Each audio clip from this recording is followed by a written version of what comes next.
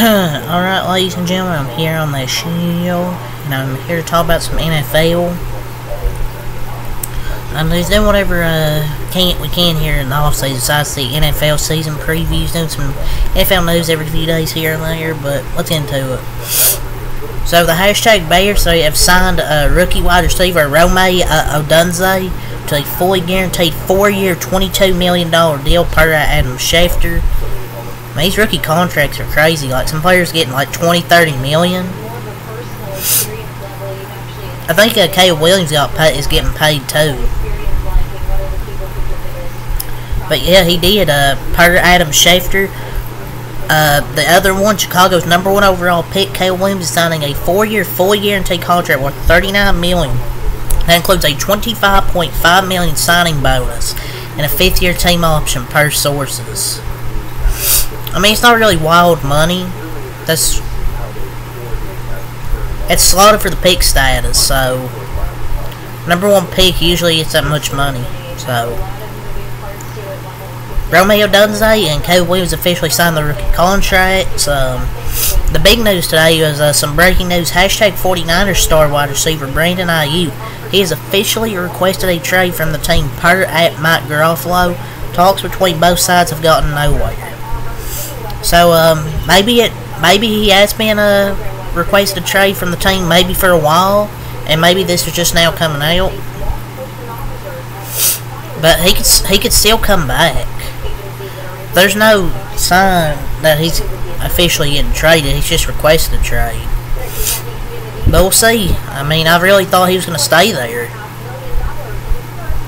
But remember when uh, Deebo Samuel requested a trade and they were unwilling to engage in contract talks? And this could be another similar situation.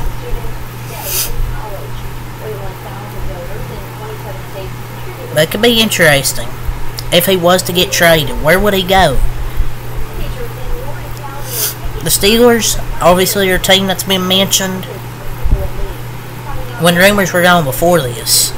And the Commanders will make sense. And two teams have been heavily connected to Brandon Aiyuk make a ton of sense are the hashtag Steelers and the hashtag Commanders uh, to me. As he could get to be sent to Pittsburgh if he was to get traded and play over there with George Pickens. They, sh they should just put their attitudes aside because them together uh, would help the Steelers' offense tremendously. Yeah, they're. I don't want to say they're divas, but their attitudes aren't the best. But it's hard for me to say when I'm not obviously don't know NFL players like that. But we'll see. Um, he's requested a trade from the team, but this could be another Deebo Samuel situation where Deebo Samuel requested a trade and they were unwilling to talk with uh, talk uh, negotiations for no contract. This could be the same thing with Brandon Aiyuk. Until there's talks of him like getting traded, then I'm not gonna buy into this too much, but definitely is interesting. So trending Giants wide receiver Jalin Hyatt, he thinks people are sleeping on the Giants offense. sure about that? Said, in quote, guess they are. We have four or five dynamic receivers. All of us confident, all of us want the ball. We're to be explosive this year. End quote. Yeah, you didn't mention the QB, the running back, the tight end, or the offensive line. I mean, Theo Johnson can reasonably be a good tight end, but I don't know. Singletary's solid. I mean, Singletary's solid. Theo Johnson's a rookie. I, I don't I don't know. I'll just stay sleeping on this offense. The running back though, line positions are a big question mark, and Daniel Jones is a huge question mark. Suits, it has to be kidding. So, uh, per your report, uh, the hashtag Rams are signing kicker Dustin Hopkins to a three-year, $15.9 million extension per Adam Schefter. Good contract. Um, low-key one of the best kickers in the league.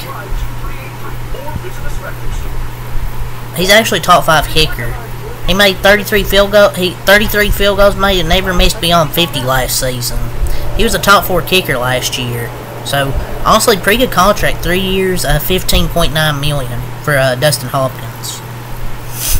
So per report, a Vikings rookie QB JJ McCarthy is planning to hold out if he doesn't receive his full signing bonus payment payment up front per Pretty Ricky 213. I mean, he can hold out. He wasn't going to start this season anyways, and Sam, Darn- Sam Darnold's really their quarterback. I mean, we got rookies holding out. Bro think he has motion. Like, you're not worth that special treatment, man. Kid's a diva already, man. Hate to see it. Trying to get what he can before everyone realizes he isn't that good. And he thinks he's good enough to do that. And we haven't seen you play snap in the NFL, so how are you going to hold out? Nail face. So, rumors. Uh, the hashtag Jets almost traded for Davante Adams last season before Josh McDaniels was fired. Per at Pretty Ricky 213. He, he's also hearing that Davante will be ready to start the season, and the Jets will be more aggressive before the trade deadline. Man, they really, we really need to see Davante Adams and Aaron Rodgers uh, team up one last time. They should try to do, because I think it would be worth it for the Jets.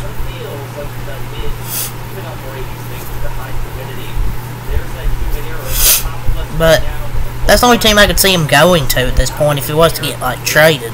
Was to team back up with Aaron Rodgers. Remember Aaron Rodgers said I hope to team up with him again soon or something some, something along those lines.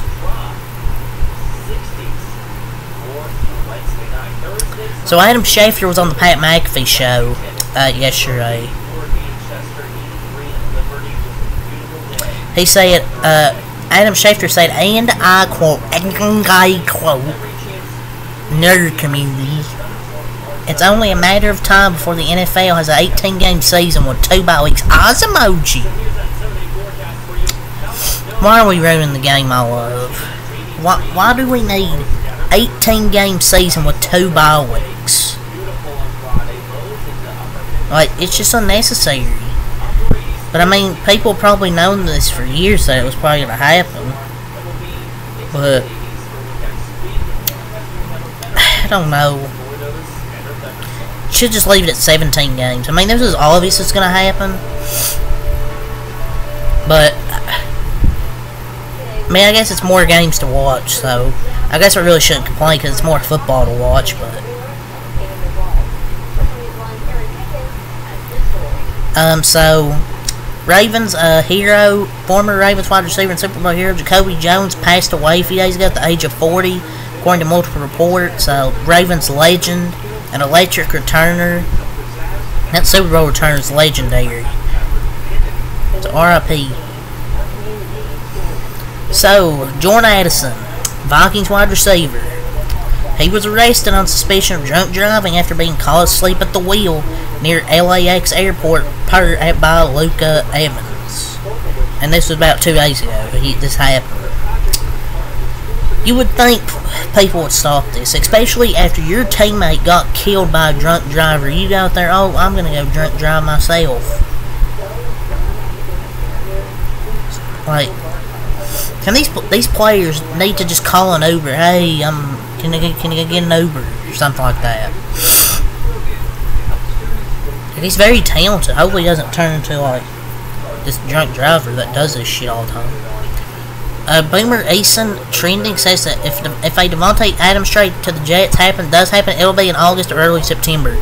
Dead cap, dead cap for the Raiders this year is forty million if they traded him. I'm hearing that if it is going to happen, it, if it, it can't talk, ladies and gentlemen. If I'm I'm hearing that if that this is gonna happen, if it does happen in late August or early September, and the cap hit for him is 25 million. Man, maybe this could happen. I don't know.